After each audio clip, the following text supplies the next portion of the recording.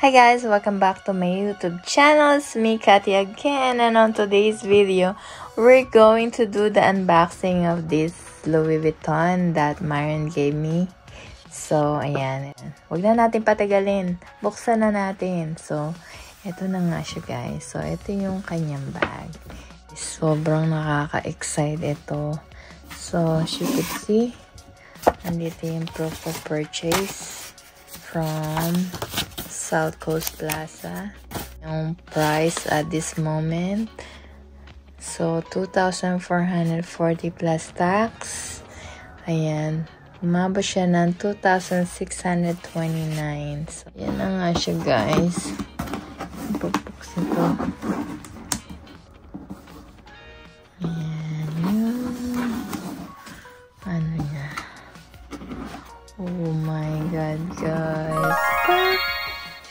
Ito na yung dust bag. And, ayun na nga siya, guys. Paganin na natin siya dyan. And, ayan na siya.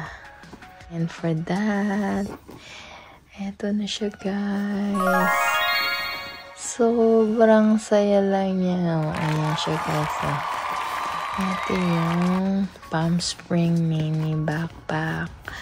Ayan na yung reveal kung ano talaga yung regalo sa akin ni Manon. Yung zipper is yan. Actually, nilagyan ko siya nito para yung kanyang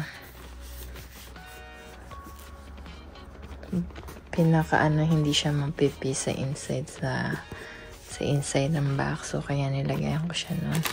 And, ito yung kanyang um,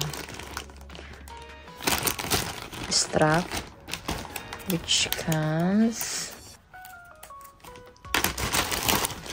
with ayan dalawang short and ito yung dalawang mahaba for the backpack. So, ayan siya. Nakalagay lang siya dito sa plastic na to.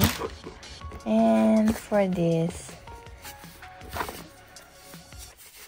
ayun siya guys.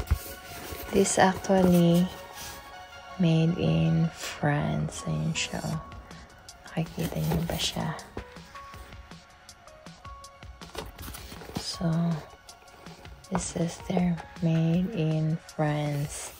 So, yun. Sobrang hirap makakuha ng made in France when you're in the US right now. Kasi, most of the time, yung mga bags, dito na nila ginagawa sa US. And, we're very fortunate nung nagpunta kami sa Louis Vuitton. They showed us um, the one made in USA. So, I asked, don't you have made in France? And all of a sudden, nakahanap siya ng made in France. So, yan.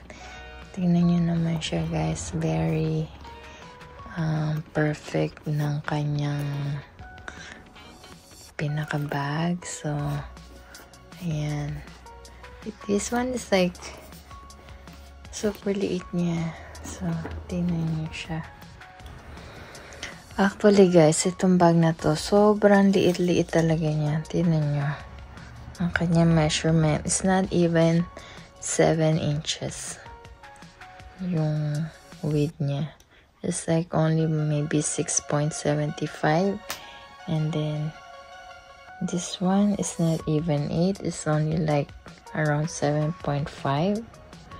Ayan. Kung kasama yung handle, it's like around 10. Pero, yun lang talaga siya kaano.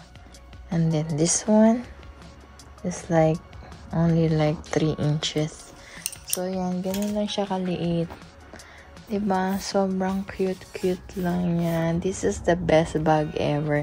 Meron akong ganitong palm string PM. So, ano siya? Ito. Ang kanyang baby. Ito yung palm spring mini and I also have the palm spring PM. So, if you guys wanna see the difference, yan.